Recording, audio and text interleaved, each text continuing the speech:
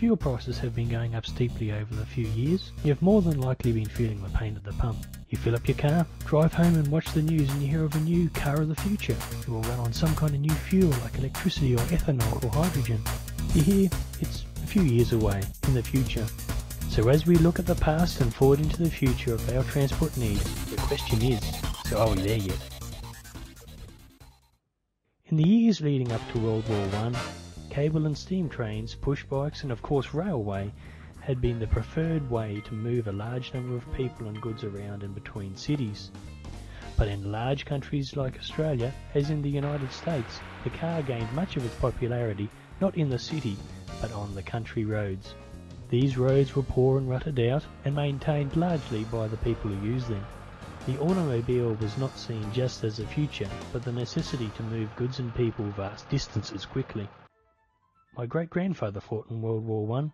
He was in the 11th Light Horse Regiment, wounded in the area of Beersheba, while protecting oil supply lines for the British. As a qualified blacksmith before the war, he completed a basic trade course and started working at the Rolls-Royce Aero plant, as well as the Smiths Instrument Factory.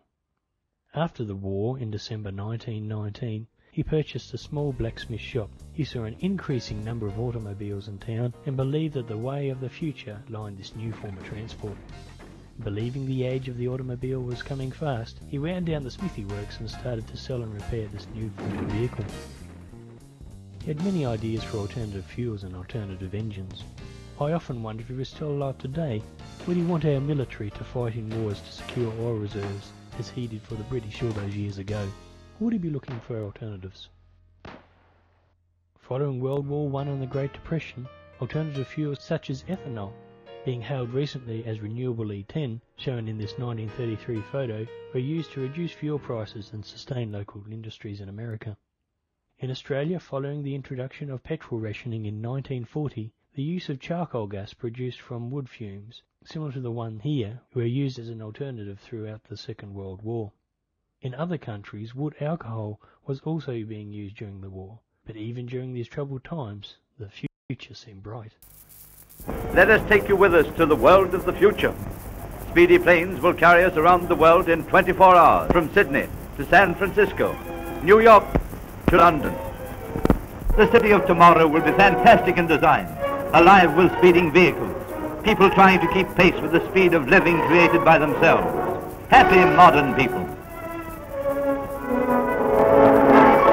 Huge ocean greyhounds are speeding from one continent to another. Distance is a thing of the past. This is modern sea travel.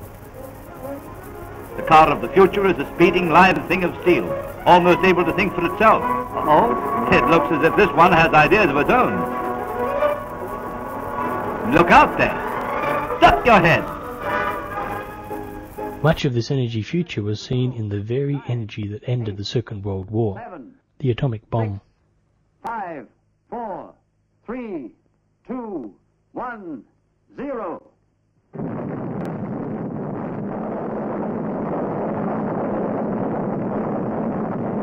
The mighty power of the atom is unleashed. There are even concept cars of the future running complete with its own nuclear reactor, but this concept never made it onto our roads for obvious reasons.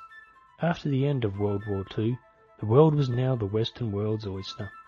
America was awash in oil. Australia never had the large reserves of heavy crude needed to feed its post-war growth.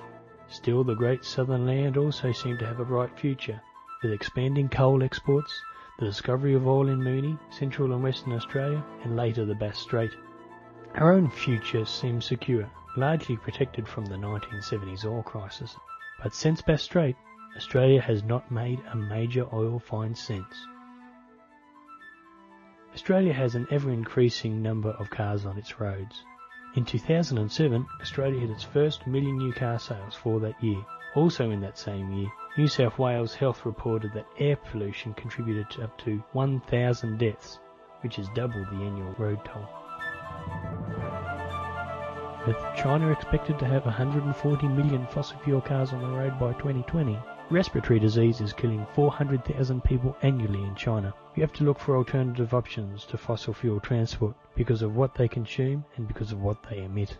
Only an eighth of the world's people have cars, and most of the other seven eighths would like a car. Um, places like China and Africa have the level of car ownership that Americans had around World War One. Um, on the other hand, uh, normal forecasts would tell you that in 30 years, just the Chinese car fleet will need another one or two Saudi Arabias to run it. There aren't another one or two Saudi Arabias. And the Chinese leadership is deathly afraid of falling into the same oil trap we did. Um, and that's why the top priority in their national development strategy is energy efficiency through leapfrog technology.